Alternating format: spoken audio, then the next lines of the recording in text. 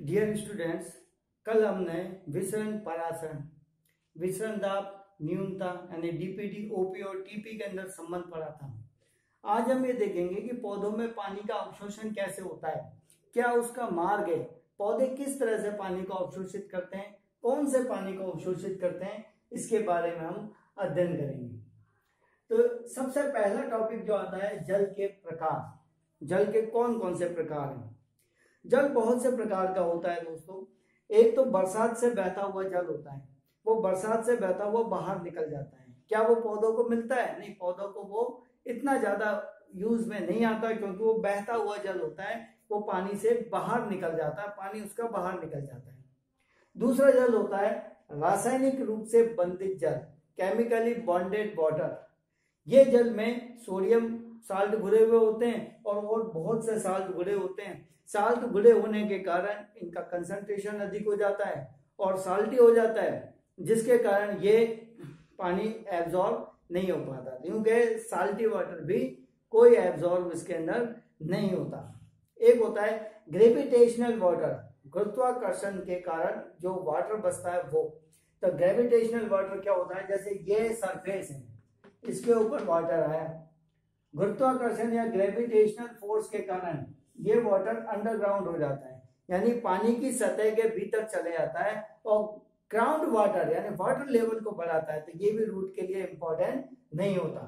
फिर कौन सा वाटर इंपॉर्टेंट होता है? तो एक होता है कैपेलरी वाटर या केशिकीय जल, ये ही पौधे के लिए इंपॉर्टेंट होता है। अब केशिकीय जल होता क्या है? जैसे ये सॉइल है। सॉइल के पार्टिकल है जो पास पास अरेंज इसके बीच में देखें तो एक बहुत ही पतले व्यास की या बहुत ही कम डायमीटर की एक ट्यूब लाइक स्ट्रक्चर बन जाती है। इसको हम कैपिलरी कैपिलरी या केशिका, कोशिका नहीं, केशिका कैपिलरी या केशिका कहते हैं। यह केमिस्ट्री की प्रॉपर्टी और इसका एक गुण होता है कि यदि इसका एक सिरा पानी के अंदर डूबा रहे, एक सिरा पानी में डूबा रहे तो इस तरह के फोर्सेस बनते हैं कि पानी अपने आप ऊपर की ओर आता है। इसीलिए हम इस केशी के जल को काम में लेते हैं प्लांट्स इस केशी के जल को काम में लेते हैं। जब हम हल चलाते हैं तो केशिकाएँ ऊपर से ओपन हो जाती है और पानी ऊपर की ओर आने लगता है। तो most ninety nine percent water absorb by capillary और केशिकीय वाटर अब हमारे पास नेक्स्ट टॉपिक ये है कि भाई कैसे होता है अवशोषण? क्या इसका मार्ग होगा? वाटर का एब्जॉर्प्शन कैसे होगा? क्या इसका मार्ग होगा? किस तरह से होगा? तो एक ध्यान से देखना, एक रूट की स्ट्रक्चर बता रखी है, जिसमें ये रूट एयर है, ये साइटोप्लाज्म है, ये एपिब्लेमा है, जो आपने इलेवंथ में पढ़ी थी। एपिब्लेमा यहाँ से यहाँ तक कॉल्टेक्स है। कॉल्टेक्स में फिर एंडोडर्मिस है, फिर पेरिसाइकिल है और फिर जाइलम है। एंडोडर्मिस पेरिसाइकिल और जाइलम ये रूट की स्ट्रक्चर होती है। अब वाटर का ऑब्जॉर्प्शन कैसे होगा?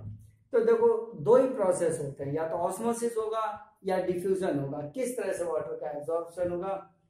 तो देखिए, जो साइटोप्लाज्म होता है रूट एयर के अंदर, इसकी सांद्रता या कंसंट्रेशन ज़्यादा होती है, जिसमें ऑस्मोटिक प्रेशर इसमें ज़्यादा होता है। जबकि सॉइल वाटर है, इसकी कंसंट्रेशन कम होती है।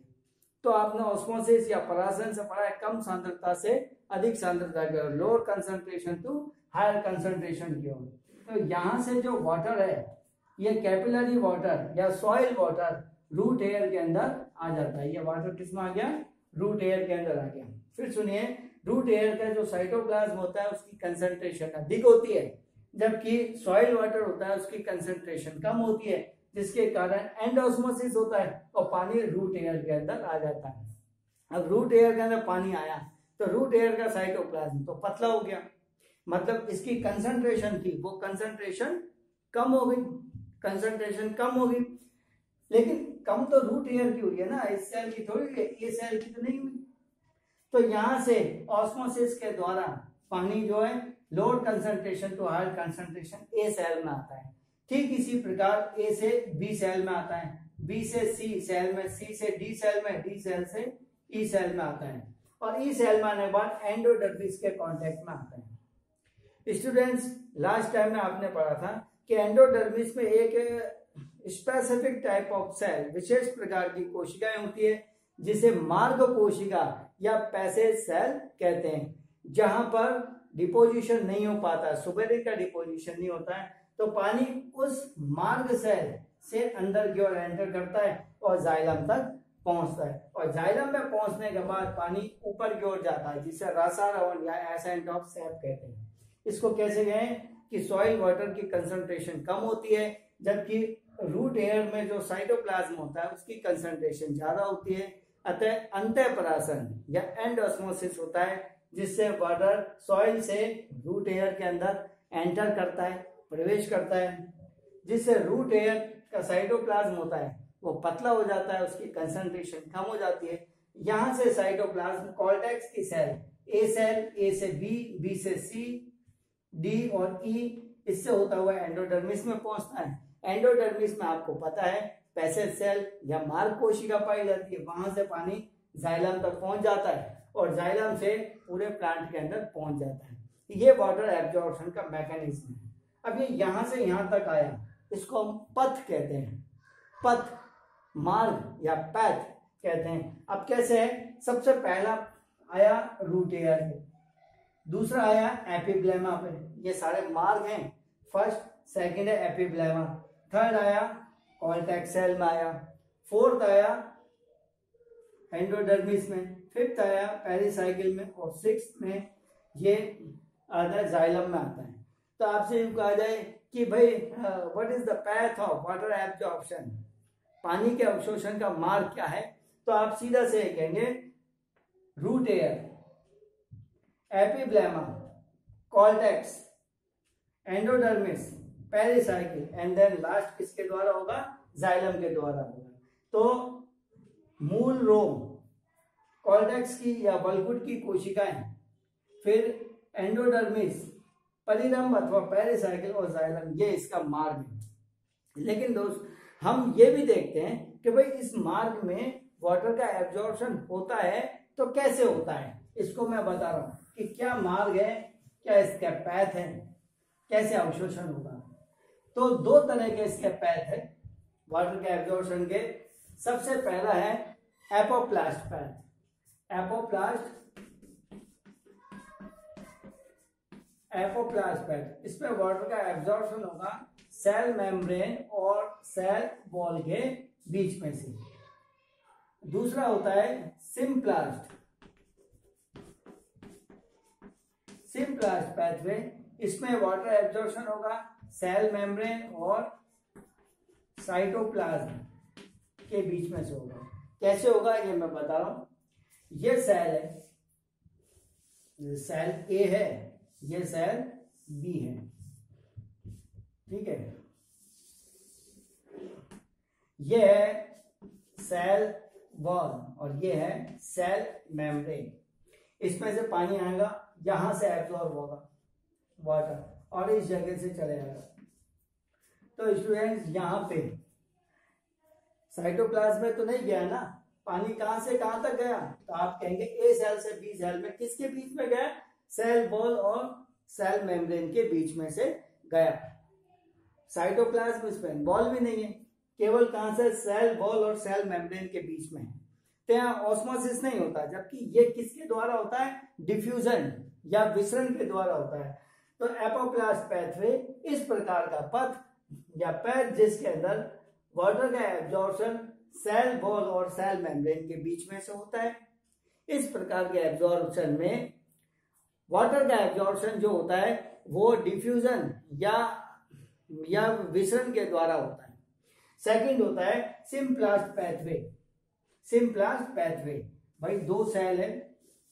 ए और ये बी बी सेल दो सेल है। ये ए है और ये बी है। ये होगी सेल वॉल और ये हो जाएगी सेल मेम्ब्रेन यहाँ पे जो वाटर होगा सेल वॉल में आएगा सेल वॉल से सेल मेम्ब्रेन में एंटर करेगा और सेल मेम्ब्रेन से कहा एंटर करेगा? ये साइटोप्लाज्म में। ये है साइटोप्लाज्म और साइटोप्लाज्म या जीव द्रव्य से होता हुआ बाहर आए तो इसमें पानी के अवशोषण का मार्ग देखिए। इसमें पानी सेल मेम्ब्रेन से साइटोप्लाज्म में होता हुआ आगे की ओर एंटर करता है। तो यहाँ पे एसपीएम भी है है ना? साइटोप्लाज्म भी है।